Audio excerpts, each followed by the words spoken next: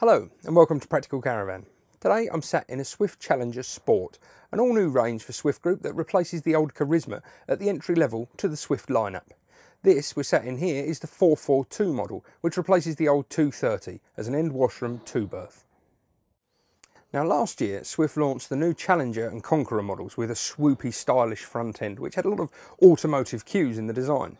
And this has now been carried into the Challenger Sport range. But this isn't really a relative of those ranges in the way it's built. This is an all new body shell from the ground up. Still got the same optional roof window and has really swoopy good looks again. But it's lighter, smaller van, and the big selling point of this is low weight.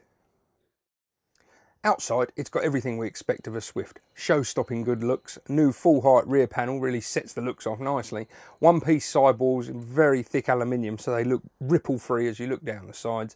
It's just all the details are absolutely spot on. The awning rails are concealed on the way round and the corner joints, even where they join, are covered with a nice plastic finisher. Just looks super smart. At night, a massive front lounge translates into a massive double bed.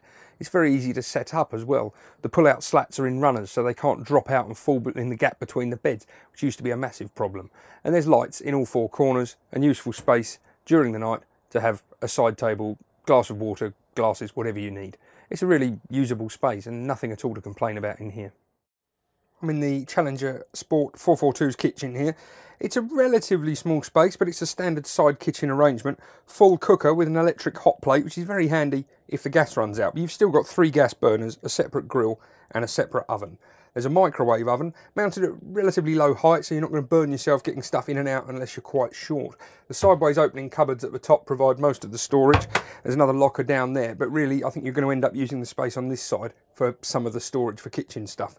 Worktop area is limited. It's got a clip-on drainer here, so you can remove that to free up a bit of workspace, although there is a workspace extension at that end. Could come in very useful if you're getting a bit tight.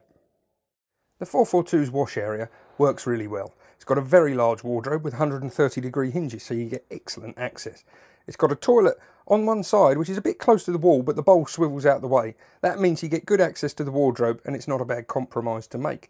The shower cubicle is large. Access is a little bit tight, but once you're in there, the head of the shower moves up and down easily, and it's got a tap on it so that you don't waste water. Very clever thinking. The sink is big and looks very impressive, and the only thing we don't like is the towel ring hung directly above the toilet paper dispenser. Put a damp towel on there, and you're going to have wet toilet paper, which is just a bit silly. So the Challenger Sport 442 has AL-KO ATC as standard, stunning good looks, an optional roof window, and it marries cutting edge style with a traditional well proven layout. We're really struggling to find things to say that don't sing its praises, aside from a couple of very minor niggles. And the biggest question for us is, why would you want to upgrade to a Challenger 480? This has got it all.